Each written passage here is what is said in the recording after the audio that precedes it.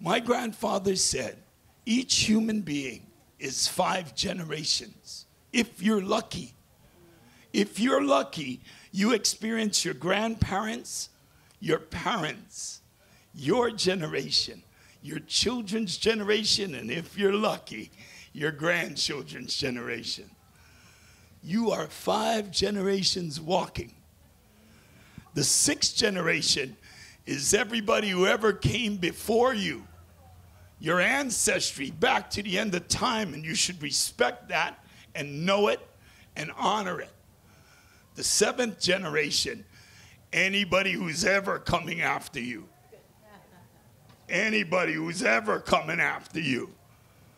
So when we say make a decision with the seven generations in mind, what decision do you make that is not made for all time?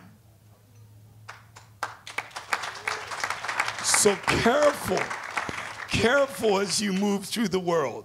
And this should be a lesson for our policymakers and our leadership. No decision they make is not a decision for all time. You know?